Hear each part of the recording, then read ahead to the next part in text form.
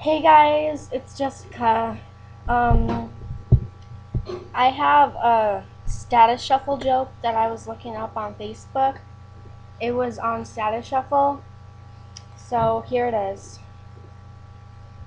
Anna, you, you're going to be a part of this play.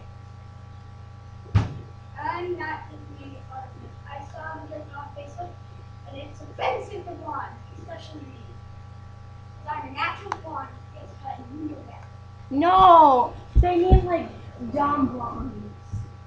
Alright, Like blonde means dumb. Yeah. Sorry about that, people. Um. Anyway, I guess I'll just play myself since she's not joining. But it is funny, so I'm pretty sure you'll like it. Anyway,